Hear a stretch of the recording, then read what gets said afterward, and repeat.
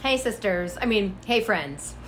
When I was a kid, my abuela used to tell me all the time that there was a thin line between being generous and being a come mierda. Google that word if you don't already know what that means. The older I got, the more I came to realize how correct she was in that statement. Unfortunately, it wasn't until after I had been a come mierda one or 200 times that it really sank in when you are a good person who genuinely cares about other people and are generous with your time or your talent or any of the other assets you possess, you will sometimes come into contact with people who will see that generosity and kindness as a weakness or as a stepping stone towards something greater for themselves. They will have absolutely no problem aligning with you for this reason either. Sometimes it's not even purposeful, it's just that their sense of self interest is so great that it supersedes any reservations or moral hangups they may have about it. And sometimes people will feel like if they have a relationship with you of some kind, that they are entitled to benefits from it. None of that is okay. Because let's face it, contrary to popular belief, nobody owes anyone a damn thing in life. When you are lucky enough to have someone be good to you or do for you, that's a gift, not an entitlement. And everybody knows from a young age that when you get a gift, you say thank you. You appreciate it.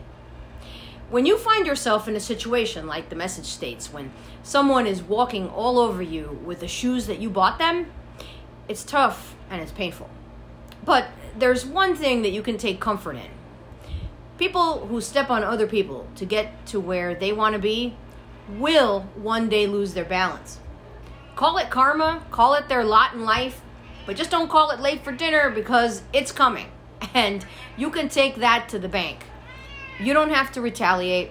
You don't have to do anything but protect your energy and pull it back from situations where it's not being appreciated. Trust me when I say that they will not only notice, but they will come to regret it too someday, when the only person left to buy them shoes is themselves. There are so many things that you can choose to be in this life, yet some people choose to be ungrateful.